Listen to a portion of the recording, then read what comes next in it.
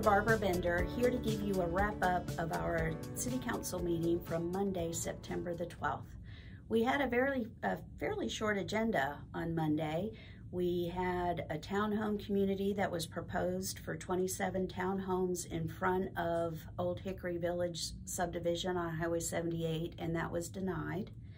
And then the other item of note was we entered into an intergovernmental agreement with Gwinnett County to do a water pipe restoration project. This is a county project that they're doing. They're replacing water mains on several streets around the Pinehurst area.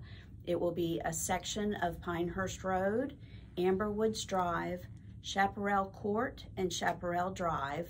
And then also on Valley Creek Circle and Ridgewood Way, you're gonna also, you'll have the water mains updated, but then also the roads will be restored and repaved. The roads on those two streets didn't don't have the correct sub base on there. The county's gonna come in and improve that as they fix the water mains and then uh, we will participate with them and pay for part of the cost of paving.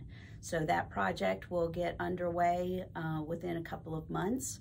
And uh, so we're really excited that we're getting some updated water pipes in that area.